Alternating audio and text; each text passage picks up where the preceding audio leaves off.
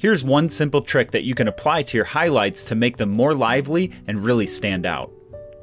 Try mixing a bright color that clashes with the color of your highlights. In this case, I'm using white, yellow, and magenta to create a color that's similar to highlighter pink. Use this color to apply around some of the brightest parts of your highlights. The colors will instantly clash, so I make sure not to overdo it. I also try to leave the brightest parts of my highlights in place.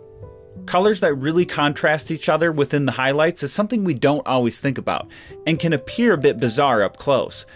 But these are the types of effects that when we back out and view as a whole, can really create a dynamic and eye-catching effect that will draw your viewers in.